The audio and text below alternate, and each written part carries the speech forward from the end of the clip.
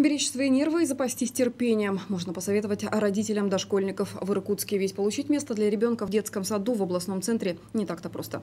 Сейчас в очереди на зачисление в учреждения стоят 16,5 тысяч детей. В городе по-прежнему остро стоит проблема дефицита дошкольных организаций. Всего в Иркутске работают 135 детских садов. Они могут вместить почти 35 тысяч ребят. Но по факту учреждения принимают на 8 тысяч дошкольников больше.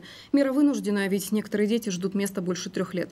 Эту проблему планируют решить, правда, небольшими шагами. В ближайшие 4 года в городе построят 11 новых детских садов на 1790 мест. Улучшит ли это ситуацию, сказать сложно.